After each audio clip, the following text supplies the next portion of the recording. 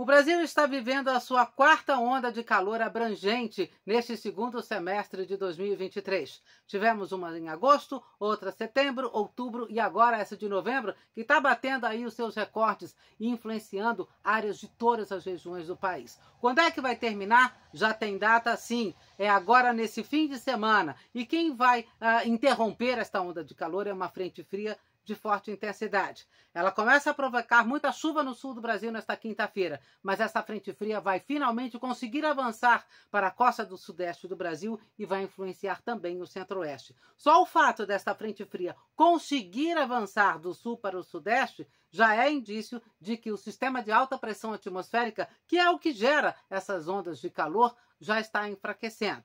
Mas aí nós temos um outro problema. É uma frente fria que vai encontrar esse calor armazenado no Brasil, uma atmosfera extremamente quente, entrando em choque com o ar frio de uma frente fria. Então nós temos pela frente dias de temporais, dias que vão realmente ter muito atenção, chamar muita atenção para as tempestades que vêm por aí a quinta, sexta-feira, sábado, muita chuva em cima do sul do Brasil. Mas depois, no fim de semana, a chuva vai começar a aumentar no sudeste e no centro-oeste. Já no sábado, já tem esse, essa expectativa aí de tempestades que possam ocorrer, inclusive no estado de São Paulo. Nós estamos falando, sim, de muitas nuvens cumulonimbus que poderão provocar granizo, ventanias com rajadas de vento aí até acima dos 80 quilômetros por hora, né? E muita chuva.